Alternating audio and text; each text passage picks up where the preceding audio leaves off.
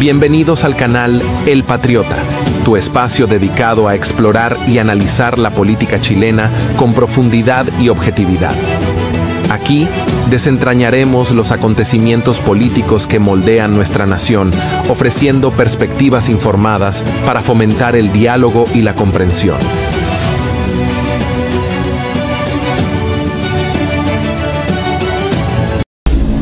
En la entrevista de Matías del Río, la abogada María Elena Santibáñez reveló que Monsalve no solo manipuló el proceso judicial, sino que recurrió a tácticas sucias para evadir la justicia. La intimidación a la víctima, utilizando agentes paralelos de la PDI leales a él, evidencia hasta dónde está dispuesto a llegar para evitar su condena. La gravedad de estos hechos no solo socava el proceso judicial, sino que también genera una sensación de impunidad y vulnerabilidad, lo que deja claro el poder que aún ejerce sobre ciertos sectores de las fuerzas de seguridad. Invitamos a la audiencia a suscribirse al canal, comprar los productos oficiales, dejar un aporte al canal con un super gracias y considerar hacerse miembros para respaldar el compromiso del patriota con la verdad y el análisis crítico.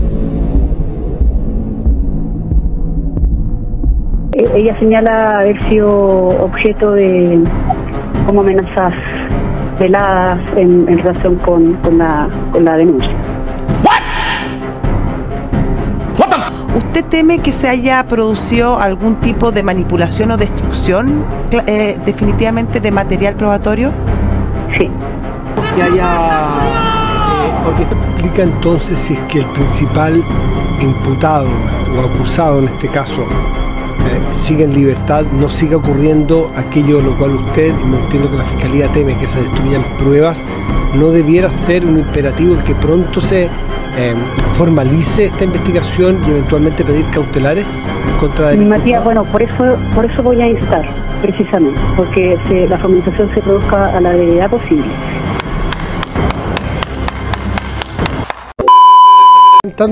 A la denunciante. Eh, abogada Santibáñez, le agradecemos mucho este contacto con Radio Duna. Buenas tardes, ¿cómo está usted? Buenas tardes, abogada, ¿qué tal? Buenas tardes, ¿cómo estás? Muy bien, pues eh, bueno, mm, de las cosas que más nos sorprendieron a todos hoy día es esta revelación que hace el fiscal Armendari, que no solo la intervención eh, en las imágenes de las cámaras, y somos cuidadosos no decir las cámaras, porque no sabemos si intervinieron propiamente en, en las cámaras, pero sí en las imágenes que produce, que es lo relevante, sino también el intento y la llegada al círculo íntimo de su defendida. ¿Con qué finalidad? La verdad es que yo también me sorprendí bastante, eh, no, no, sabía de, esta situación y la, la víctima, eh, digamos, tampoco tuvo noticia de en ese minuto de las personas que se, no se identificaron como tales.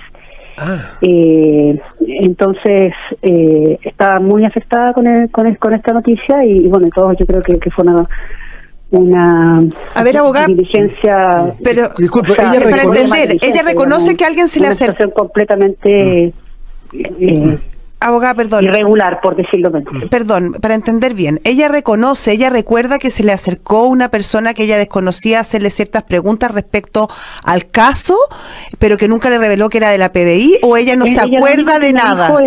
¿Ah? Se quedó helada y me dijo yo no sabía esto y dijo y se quedó callada y me dijo ah creo saber de qué se trata, quiero saber quiénes son. Ah, ya. ¿Y qué, había tenido una situación justamente con personas desconocidas y no. ¿Y qué le habían preguntado? ¿Le reveló? ¿Le reveló cuál, en qué tenor había sido la conversación? No, ¿Fue coincidente cronológicamente con la intervención de los grupos de la PDI con las cámaras en el hotel? ¿Es el mismo día o el, o el día siguiente? No, no, no, lo desconozco porque solo hablé eso. Después de la audiencia, con, se ha hablado muy pocas veces y, y muy corto porque tiene que ver con gestiones que estoy haciendo con ella asociadas a la revocación del mandato previo, etcétera. Mm, ya, o sea, todavía no podía entrar en la profundidad de los hechos. No, de hecho, no, me he juntado con ella para conversar eh, y ni siquiera profundamente, y lo, he dicho son, mm. como en varias partes, pero eh, entiendo que querían saber en relación con la con la audiencia hoy día. Entonces, por eso, eso eso es lo que les puedo contar, digamos. De, sí, solamente, solamente, eh, está bien, usted no tiene antecedentes, no se ha juntado con ella todavía pero tiene el que sea el antecedente general de si entre el día 23, donde ella sostiene haber sido eh, violada, y el día 10 u 11 aproximadamente, donde ocurre esta intervención de los PDI mandados por el señor Monsalve, son aproximadamente 18 días.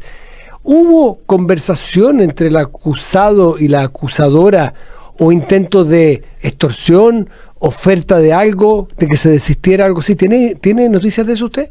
O sea, como le mencioné, no hablaba en profundidad con, con ella.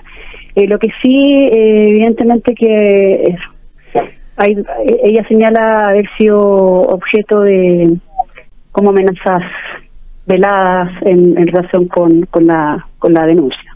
¿Por parte de quién? ¿De señor Monsalve directamente o de, o de terceros? No, no me lo señaló porque yo, como le digo, he tenido contacto con ella muy poco hasta ahora y estaba bastante mal cuando cuando cuando hablaba con ella. ¿Y esas amenazas veladas la llevaron a hacer la denuncia el día 14?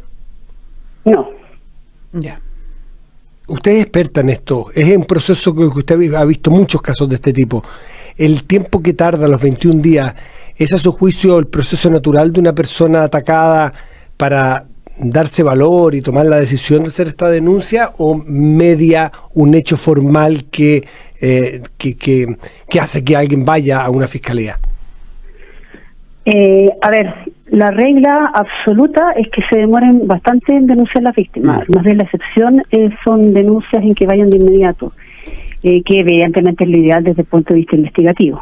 Mm. Eh, de hecho, en muchas ocasiones se demoran años, ¿cierto? Años y años, ¿cierto? Ha habido casos por algo está el tema de la imprescriptibilidad, mm. eh, sobre todo cuando son delitos sexuales de menores de edad.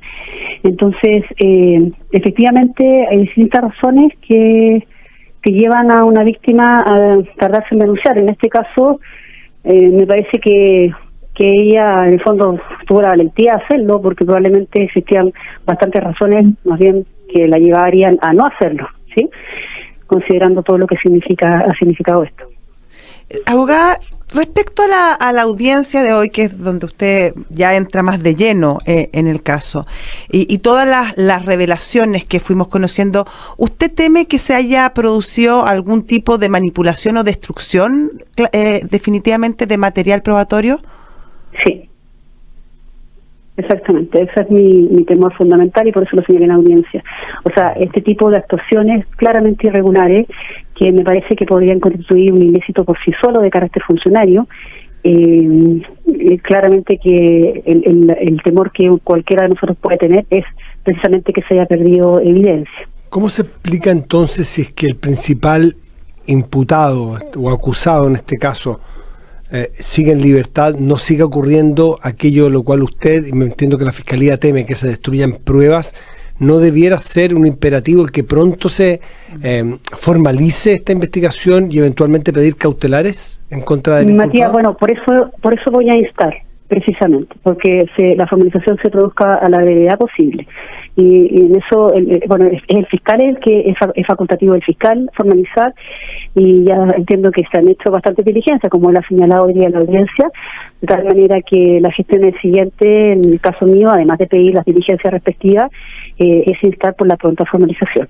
¿Qué tipo de diligencias considera pedir, eh, abogada? Bueno, eh, la diligencia se la voy a señalar directamente al Ministerio Público. Es que es una investigación que está bajo secreto.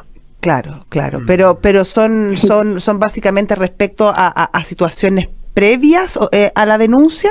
O sea, son son diligencias eh, que no las puedo mencionar porque si no no tendría ningún sentido el secreto, ¿sí? Justamente la idea es que las, todas las diligencias se realicen con el mayor sigilo posible, entonces solo las voy a mencionar en términos genéricos al tribunal y específicamente al Ministerio Público. Perdón, eh, María, estamos con María Elena Santibáñez, abogada querellante en el caso Monsalve, abogada defensora de la persona que acusa de violación al ex secretario Monsalve. María Elena, usted acaba de decir que le parece que a la brevedad debiera formalizarse esta investigación en, en, plazos procesales. ¿Brevedad es qué? Porque brevedad es algo ahora ya, me imagino que no es el caso. Sea, se, se decretó un secreto de las actuaciones de mm. la investigación y yo espero que antes de que ese plazo concluya la investigación esté formalizada. Eh, abogada, hasta el momento. Perdón, eso son 40 días, abogada. Yo, su brevedad, uno supone que, que, nos hemos visto en caso de Valdivia. o sea, la brevedad sería. No, sí, pero. no, está bien, pero en esto. Eh, a ver, el fiscal que lleva adelante la investigación, que es el fiscal Armendari, la verdad es que yo tengo bastante confianza en él, creo que es un muy buen fiscal y hasta el momento su trabajo ha sido impecable, eh, de tal manera que tiene que adquirir la comisión, yo creo que la tiene perfectamente, pero faltan un par de diligencias, me parece importantes de realizar antes de la formalización, porque también según cómo uno vaya a la formalización, ¿cierto? Con los antecedentes que tenga, es la cautelar que va a pedir, ¿sí? De tal manera que si faltan algunos, digamos, eh, también está asociado a eso. Y lo que me señala Matías del tema de, Val- de, De de Valdivia, que tú estabas diciendo eso, sí, me parece cuando te interrumpí. Sí, sí, sí, exactamente eso, porque fue todo muy rápido. Claro, Yo sé que en tiene que ver, días. tiene que ver con la, Claro. tiene que ver con la, La flagrancia. Sí. Eh, bueno, ahí tenemos un caso de una víctima que hizo lo que en realidad uno quisiera que hace, quisiera que, que haga cualquier víctima, Que que fue inmediatamente hacer la denuncia. Además, entiendo, pero esto, la verdad, no sé, corríjanme ustedes, pero me parece que fue víctima de amenazas también ella.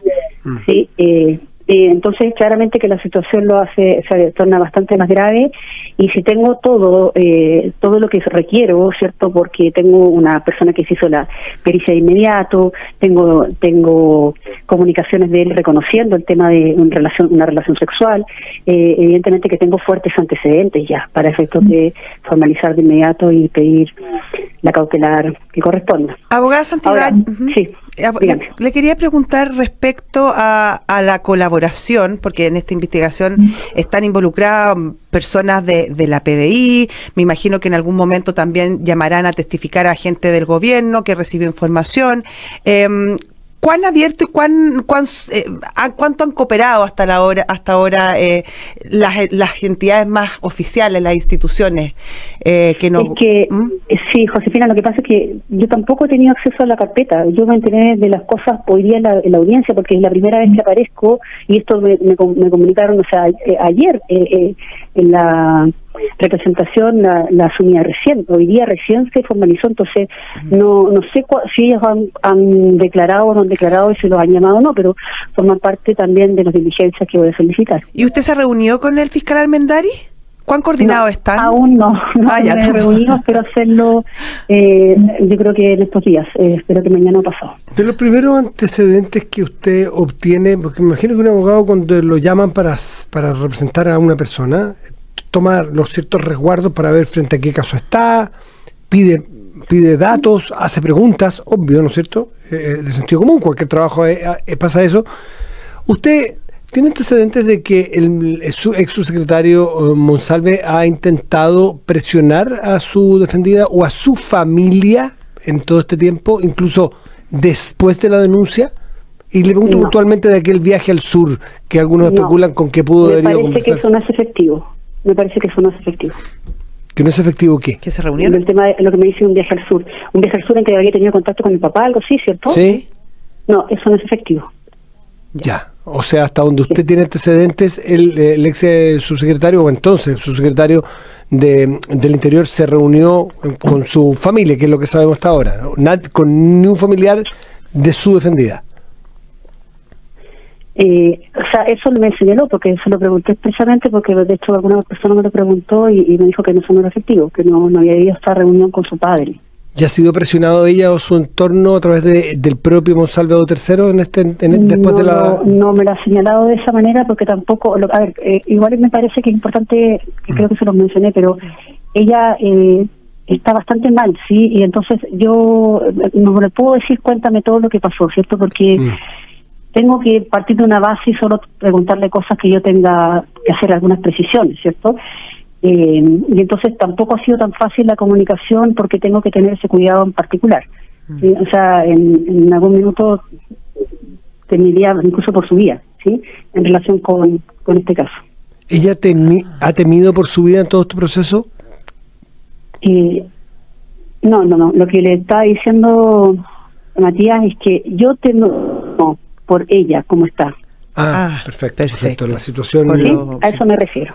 Ok, ella está, eh, está, me imagino, bajo resguardo mé- médico, atención médica intensiva, sí, ¿no? Está, está bajo atención eh, médica y por lo mismo que, Y está- o sea, no puedo, es una víctima, entonces eh, evidentemente que el trato tiene que ser cuidadoso, sobre todo si la veo de esa forma. Y, de- y bajo resguardo policial, ¿no? No está bajo resguardo policial, no. Ya. Bueno, sabemos, tenemos compromiso en terminar hasta ahora con usted porque tiene otras, eh, otras Sí, obligaciones y queremos ser sí. eh, cuidadosos con ese compromiso. Le agradecemos Sí, mucho. muchas gracias. Eh, Sí. Bueno, sí, gracias a ustedes por la invitación. ¿ya? Marilena, que sí. Gracias, abogada. Hasta luego. Esperemos que no sea la última vez, conforme avance la, Sí. la investigación, puede ir conversando y dando, eh, aclarando Más este caso. adelante, sí, más adelante. Muchísimas Marilena gracias. Santibáñez, abogada creyente que somos muchas gracias por conversar con Duna. Gracias a ustedes, que estén muy bien. Hasta Adiós. Luego. 7 con 33, estás en Duna. Nada personal. En el desarrollo de la entrevista, Santibáñez dejó en claro que las pruebas eliminadas eran decisivas y aunque algunas han sido borradas, las que aún quedan podrían ser suficientes para llevar a Monsalve a un proceso judicial justo. La abogada mostró su frustración ante la lentitud del proceso, argumentando que esta manipulación de pruebas y la intimidación no solo retrasan la justicia, sino que representan un peligro continuo para la víctima, quien sigue enfrentando amenazas en su vida cotidiana.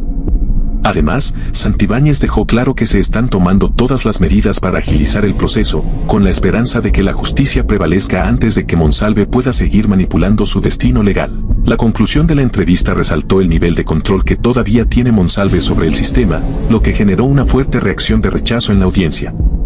Santibáñez insistió en que, si bien Monsalve sigue usando su poder para intentar evadir su responsabilidad, cada acción que toma revela más su corrupción y abuso de poder. Quedó claro que es esencial que el sistema judicial actúe con rapidez y firmeza para evitar que siga extendiéndose esta impunidad, garantizando no solo justicia para la víctima, sino también para la sociedad en general, que observa con impotencia cómo un alto funcionario utiliza su posición para eludir la ley. Invitamos a la audiencia a suscribirse al canal, comprar los productos oficiales, dejar un aporte al canal con un super gracias y considerar hacerse miembros para respaldar el compromiso de El Patriota con la verdad y el análisis crítico.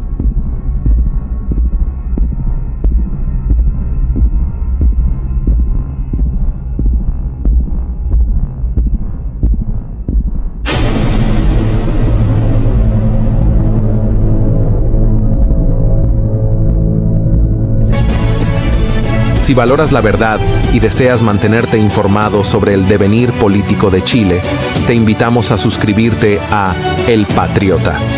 No te pierdas ningún episodio.